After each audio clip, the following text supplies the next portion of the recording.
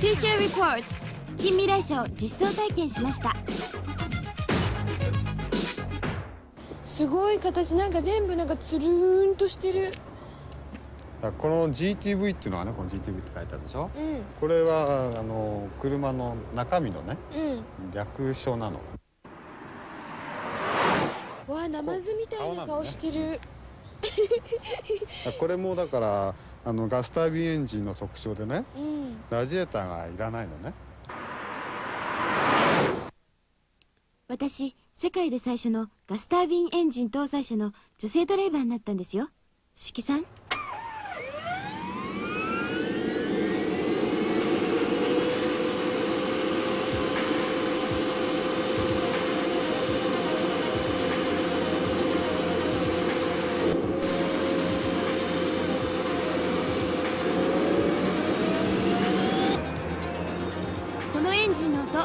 まるでジェット機が離陸する時のような音なんです。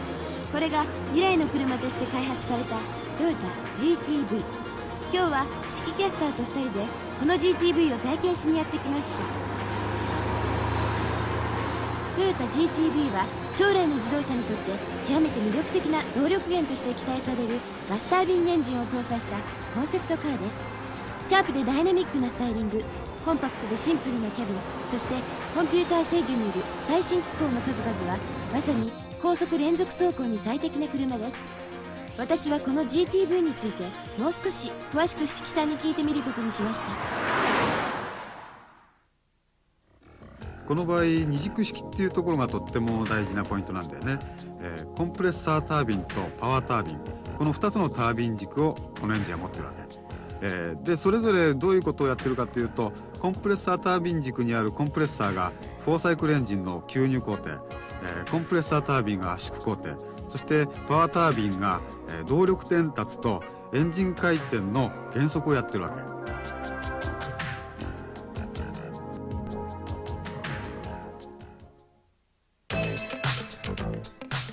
ガスタービンエンジンは多くの種類の燃料が使え排出ガスがクリーン。振動が少なく低速トルクが大きくその上冷却水が不要。これらの多くの特徴を持つ将来期待のエンジンです。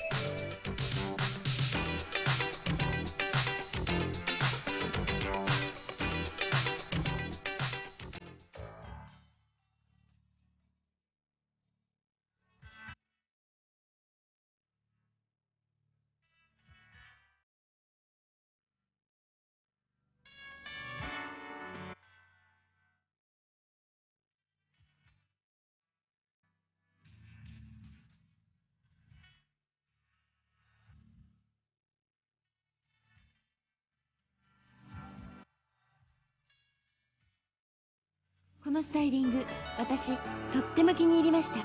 そしてもう一つの魅力は？うんこれ何だと思いますか？これねカメラがあるのね。うんそのインナーミラーの代わりにこのカメラで後方をモニターしてるんですよね。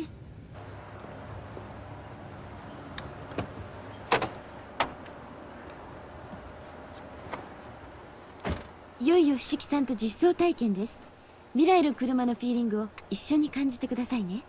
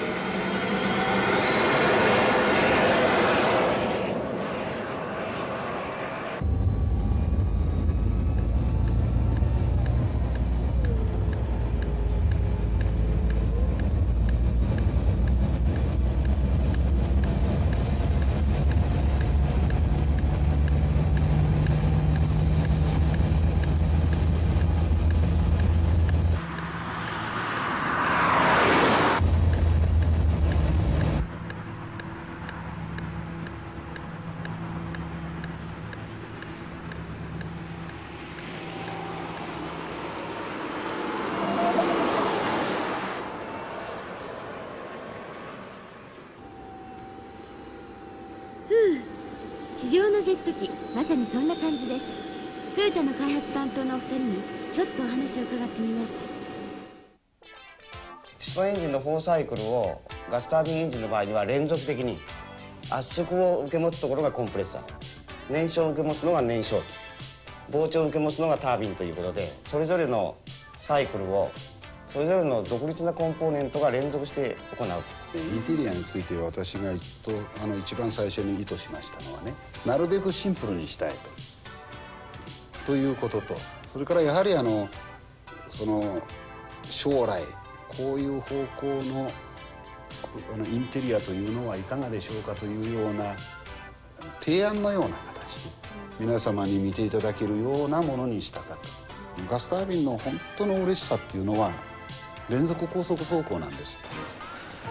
車大好きの私には夢のような体験でした。次回のフューチャーリポートも期待してくださいね。それでは。